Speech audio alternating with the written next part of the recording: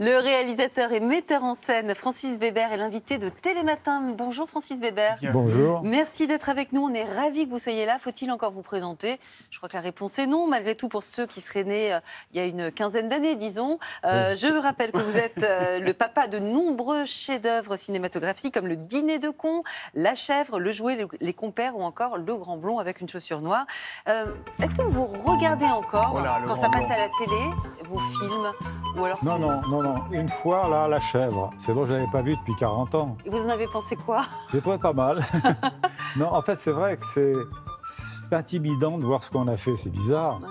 Mais là, je me suis dit, bon, vous savez, après 40 ans, hein, vous êtes séparés du truc et vous le redé- redécouvrez. Hmm. Et c'est marrant parce que j'ai trouvé le film émouvant.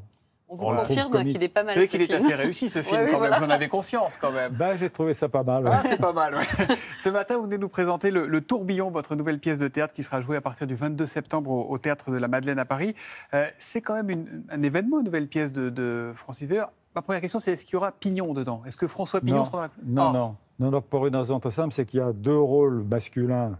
C'est un flic brutal Mm. et un journaliste dépressif. Et c'était pas Pignon, en fait. Ça pouvait pas coller. Non, ça pouvait pas coller. Bon, euh, vous mettez toujours la pression avant de lancer une presse, une pièce de théâtre comme ça ou pas Ou vous êtes détendu? Ah, pas du tout. Je suis toujours sous pression, quoi qu'il arrive. Et Mm. Dieu merci, d'ailleurs. hein. Ouais. Parce que si j'étais détendu... Ça me rappelle l'histoire de Sarah Bernard avec une débutante. Vous la connaissez, non? Ouais. Qui a dit, moi, j'ai jamais le trac. Elle lui a dit, vous verrez ça quand vous aurez du talent. Ouais, c'est ça, c'est ça. Ouais. En tout cas, en 1970, au moment de lancer une pièce, je ne sais pas si vous vous souvenez, vous n'étiez pas serein, serein, Francis Weber. Aïe, aïe, aïe. Qu'est-ce que vous attendez maintenant, vous, de, de- le fait d'avoir écrit cette pièce Maintenant, qu'est-ce que vous pouvez attendre? Vous allez quoi? C'est le succès, l'argent? Enfin, qu'est-ce qu'on- qu'est-ce qu'un jeune auteur attend après avoir écrit une pièce?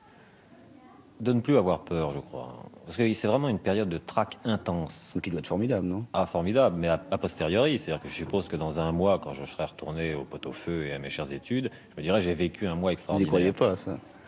non, mais je veux dire que c'est si bon quand ça s'arrête aussi. Ouais. C'est-à-dire qu'en ce moment, euh, j'ai les mains moites, euh, le regard fuyant, et je me prends dans les pieds des gens en marchant dans le théâtre. J'ai j'ai la trouille, quoi, si vous me pardonnez l'expression. Mais après, euh, ça doit être effectivement un des plus beaux moments de la vie, parce qu'il se passe quelque chose. C'est un accouchement, il se passe quelque chose. Est-ce que vous êtes raccord avec ce jeune homme qu'on entend Ah, ben, je suis pas raccord, déjà. je suis d'accord, mais pas raccord. Ah, quand même, on vous reconnaît bien, moi je trouve. Ah, ben oui, ben, en tout cas, oui, il était gonflé. Ouais, Je parle de lui. ouais. Je me rappelle, j'avais écrit dans un journal à cette époque-là, c'est la dernière fois que j'ai écrit une première pièce. C'est vrai, joli. C'est vrai, donc c'était pour ça que c'était c'était émouvant. En tout cas, euh, on parle de théâtre avec vous, mais bizarrement, quand on pense à vous, on pense avant tout au cinéma. Mais vous dites que vous, vous vivez plutôt comme un homme de théâtre. Ça veut dire quoi? Vous vous couchez tard? Euh, pas seulement ça, mais en tout cas, si vous voulez, le cinéma, c'est un moment où Gabin disait au cinéma, il faut avoir une chaise. Vous attendez tout le temps.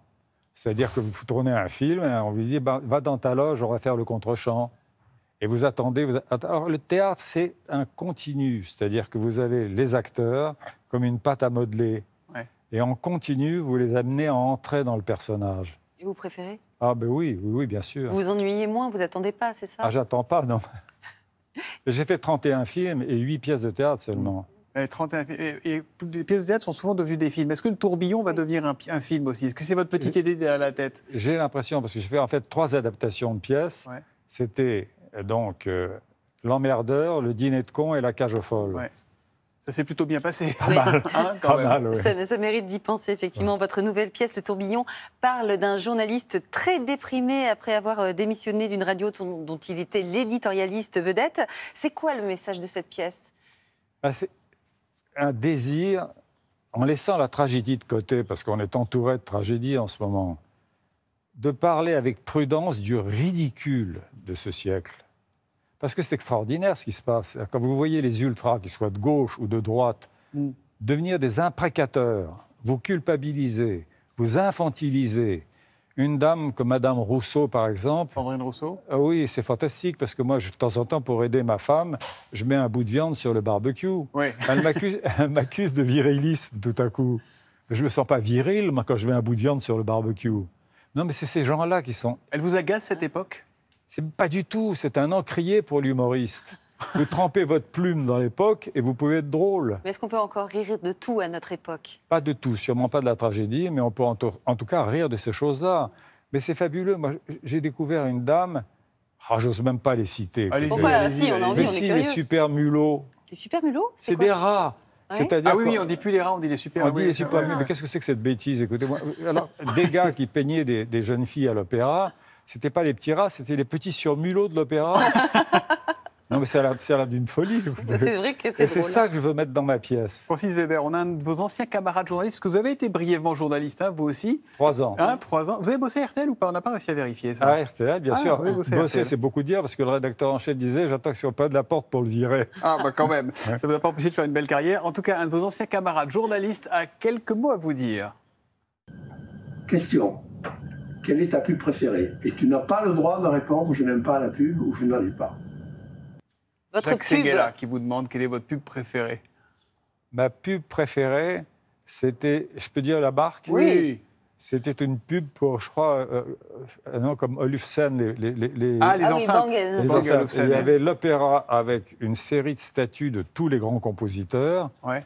statues en pierre comme ça, une musique sublime, et les statues pleuraient. Ah oui, oui, je m'en souviens. Les larmes. Ah ouais, ouais. Simplement, le, le tort de cette publicité, c'est qu'elle était tellement bonne qu'on ne savait pas de quelle marque elle parlait. c'est souvent le cas. Alors qu'il n'y a que Mike qui maille, on sait Ouais, tout de quoi il s'agit.